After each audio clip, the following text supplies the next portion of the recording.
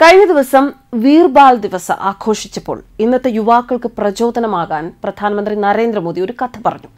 ഇസ്ലാമിലേക്ക് മതം മാറ്റാൻ ഗുരു ഗോവിന്ദ് സിംഗിന്റെ രണ്ട് മക്കളുടെ മുന്നിൽ ഊരിപ്പിടിച്ച വാളുമായി നിന്ന ഔറംഗസേബ്. ഒടുവിൽ അതിന് കഴിയാതെ വന്നപ്പോൾ തന്റെ അമർഷം അദ്ദേഹം തീർത്തത് കുട്ടികളെ ഇല്ലാതാക്കിയിട്ട്. ഈ രണ്ട് മക്കൾക്ക് ചുറ്റും ഇഷ്ടിക കൊണ്ട് ചുമരുകൾ കെട്ടാൻ ആവശ്യപ്പെടുകയായിരുന്നു ഔറംഗസേബ്. അതിനുള്ളിൽ അവർ ജീവനോടെ കുഴിച്ചുമൂടപ്പെടുകയായിരുന്നു.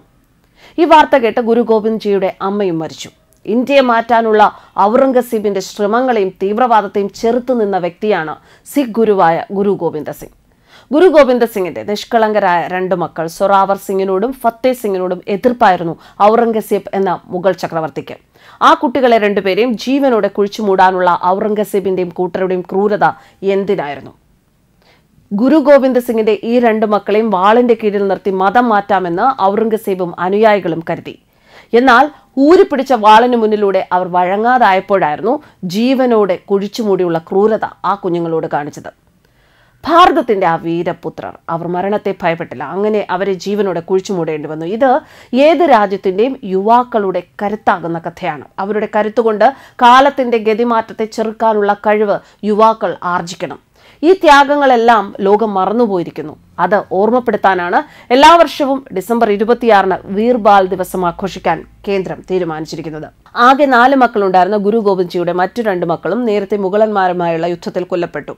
ചാർ സാഹിബ് സാദെ നാല് മക്കൾ എന്നാണ് ഗുരു ഗോവിന്ദ് സിംഗിന്റെ നാല് മക്കൾ അറിയപ്പെട്ടത്. ഇവർ നാലു പേരും ഔറംഗസീബിന്റെ നേതൃത്വത്തിലുള്ള മുഗളന്മാരുമായി യുദ്ധം ചെയ്ത് മരണം വരിക്കുകയായിരുന്നു.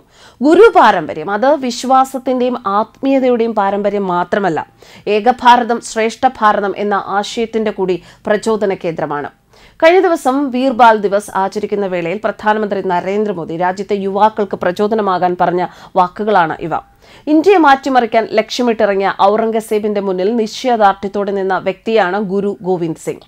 ഔറംഗസേബിന്റെ പടനീക്കത്തെ മല പോലെ ചെറുത്ത വ്യക്തിയായിരുന്നു ഗോവിന്ദ് സിംഗ് എന്നും നരേന്ദ്രമോദി അഭിപ്രായപ്പെട്ടു.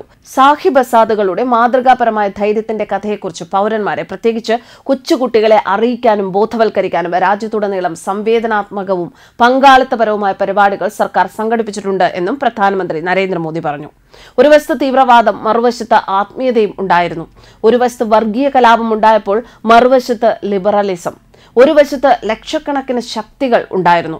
മറുവശത്ത് ഒട്ടും കുലുങ്ങാത്ത വീർ സാഹിബ് സാദെ മാത്രമായിരുന്നു. ഗുരു ഗോവിന്ദ് സിംഗിന്റെ മക്കളായ സാഹിബ് സാദ് സരോവർ സിംഗിന്റെയും സാഹിബ് സാദ് ഫത്തേ സിംഗിന്റെയും രക്തസാക്ഷിത്വത്തിന്റെ സ്മരണയ്ക്കായാണ് ഡിസംബർ ഇരുപത്തിയാറ് വീർബാൽ ദിവസമായി ആചരിക്കും എന്ന് കഴിഞ്ഞ ജനുവരി ഒൻപതിന് പ്രധാനമന്ത്രി നരേന്ദ്രമോദി പ്രഖ്യാപിച്ചത്. ഈ പ്രഖ്യാപനത്തിന്റെ അടിസ്ഥാനത്തിലായിരുന്നു കഴിഞ്ഞ ദിവസം വീർബാൽ ദിവസ് രാജ്യമൊട്ടാകെ ആചരിച്ചത്. News desk കർമാനൂസ്